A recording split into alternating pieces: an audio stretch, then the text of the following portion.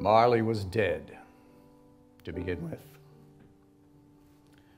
There's no doubt whatever about that. Marley was dead.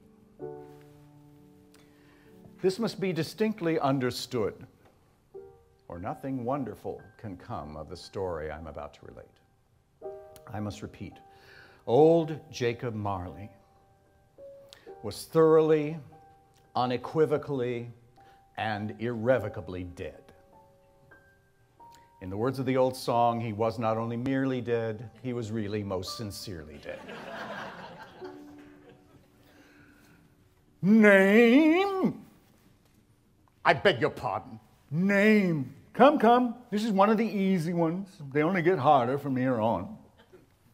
Marley found himself, to his surprise, in a small office filled to overflowing with old books and ledgers. The office's sole occupant, an ancient, rather bulldogish little man, sat peering at Marley over his spectacles.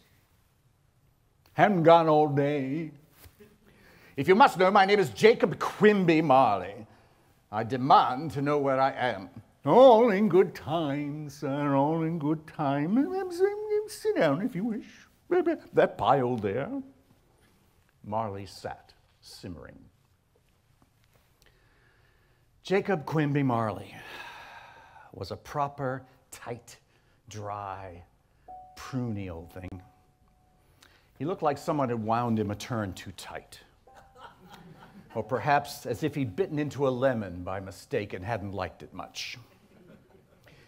Marley had spent the last 30 years sitting behind an intimidating desk at the firm of Scrooge and Marley.